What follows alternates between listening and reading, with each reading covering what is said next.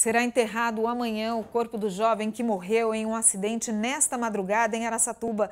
E os números de acidentes e de mortes no trânsito da cidade preocupam, viu? Já que tiveram aumento em relação ao ano passado. A Secretaria de Mobilidade Urbana fez um plantio de árvores para simbolizar a falta de consciência por parte dos motoristas.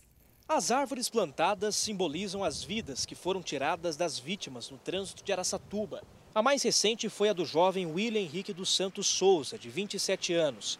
Ele morreu ao bater a moto que conduzia em uma árvore no portão desta casa, na madrugada desta segunda-feira. De janeiro até agora, Araçatuba registrou 13 mortes no trânsito, um aumento de quase 45% em relação ao mesmo período do ano passado, quando morreram nove pessoas.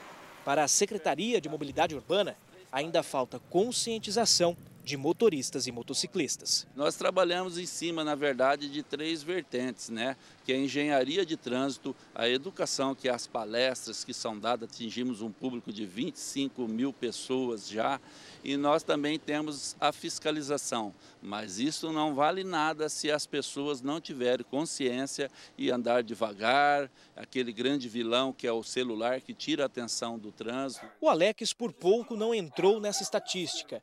O jogador de vôlei sofreu um acidente de moto há quatro meses. Até hoje, as marcas no corpo trazem a lembrança do medo. um carro é, não respeitou o par e achou que ia dar tempo, que moto é mais, mais rápida, né? Mas achou que ia dar tempo e ultrapassou e bateu de lado na minha, na minha moto. E aí deu perca total. É, eu quebrei minha tíbia, né? E e aí eu fiquei praticamente uns três dias na, no hospital também para fazer a cirurgia na, na canela. De acordo com a Secretaria de Segurança Pública do Estado, em relação ao ano passado, Araçatuba registrou um aumento de mais de 14% no número de acidentes de trânsito até setembro deste ano. A cidade está na contramão das estatísticas, já que Rio Preto, por exemplo, registrou uma redução de aproximadamente 16% no mesmo período.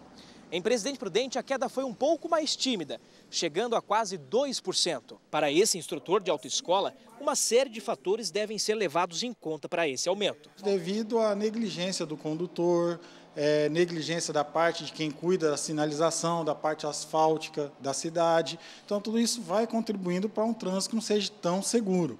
Por exemplo, o trânsito em si é um conjunto, onde todos têm que estar ali contribuindo para que tenha é, uma, uma harmonia para todos que estão utilizando o trânsito no seu dia a dia. Para tentar frear o aumento das mortes no trânsito, o próximo passo da Prefeitura é instalar radares de velocidade no município até o ano que vem. A expectativa é que no começo do ano, aí, no primeiro trimestre, aí, nós já tenhamos os radares. A Secretaria de Mobilidade Urbana de Araçatuba informou que uma equipe da Secretaria será enviada ao local citado na reportagem para realizar uma vistoria técnica, estudando as possíveis formas de melhorias e, se necessário, será analisada a possibilidade de instalação de semáforos.